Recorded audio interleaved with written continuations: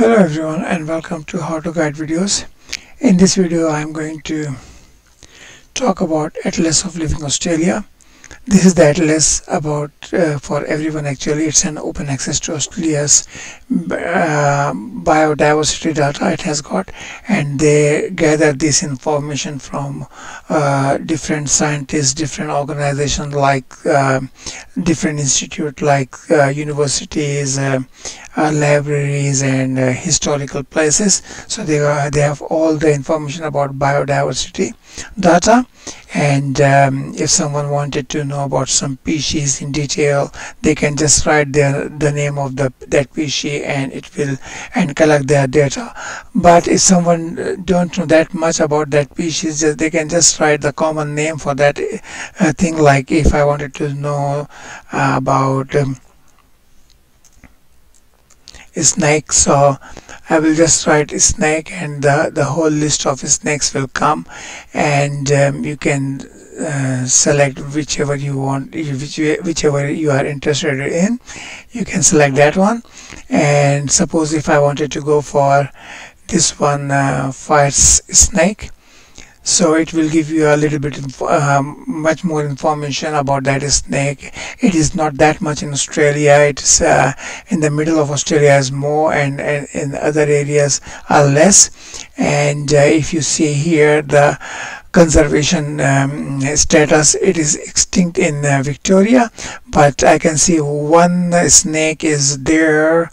Uh, a couple of snakes there halfway through in Victoria and halfway in uh, uh, New South Wales. Uh, you can have uh, lots of information about those snakes. All the data is very much um, up to date. And uh, now I wanted to um, uh, make a map about how to create a map for those species. So um, if I go back again and go to this one and uh, spatial portal and then that will create uh, uh, Australian map and then uh, I can uh, look at uh, I can boundary draw a polygon or draw a box around that area where I'm interested in or you can write a, a Google location like latitude and longitudinal orientation and uh, also you can uh, import uh, KML files into this uh, this program. I will go for Australia at the moment to explain easily and uh, so in Australia what species I wanted to look for it's a bit bright I'll make a little bit lighter it's very fleshy at the moment.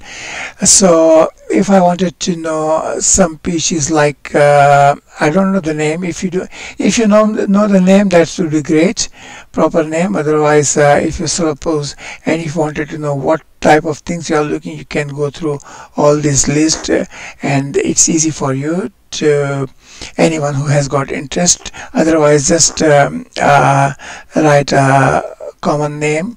Uh, I'm going to write snake again. Uh, and go for uh, the first one. Yep.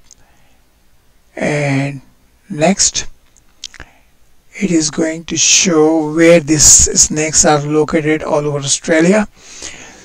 And uh, yes it is oh it's all over Australia.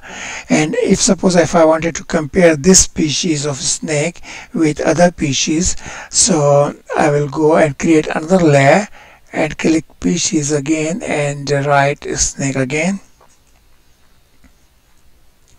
And this time I will go for this one just to compare which one is all over Australia which one is partial in Australia so we can have some uh, valuable data uh, in our system if someone interested in oh yes see you can see this uh, this other uh, species which I put it in this Killeen snake which is only in uh, western and eastern and southern side of Australia otherwise the first one uh, all over Australia.